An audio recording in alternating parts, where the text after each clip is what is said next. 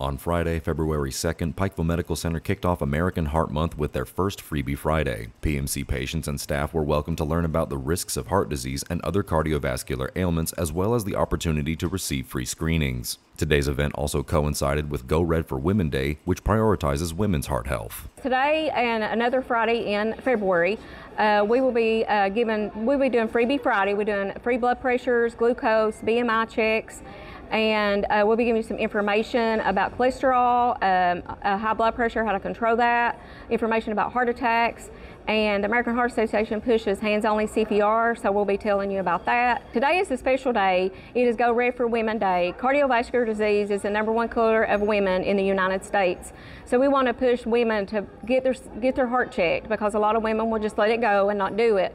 We need those blood pressures checked, those glucose checked, um, have those EKGs, have those um, you know, normal, just normal things that when you go to the doctor, and so we can catch those things early. Make your ride one of a kind and see the experts at J&M Custom Auto and Off-Road. It's your customization candy store. Visit jmcustomauto.com and select your make and model. It's that easy. Window tinting, remote start, leather interiors, sound systems, front and rear bumpers, spray and bed liners, bed covers, wheels and tires, lift kits, step rails, even underglow light kits, and so much more. If you can dream it, we can do it at J&M Custom.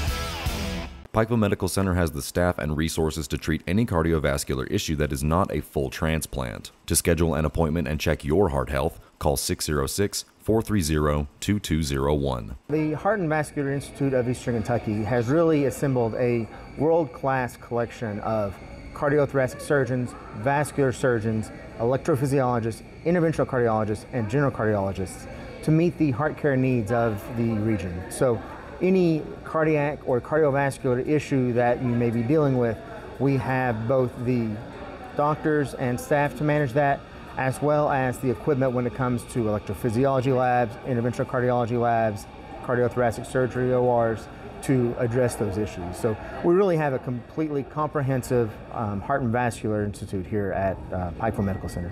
Reporting for Mountaintop News, I'm Nick Collum.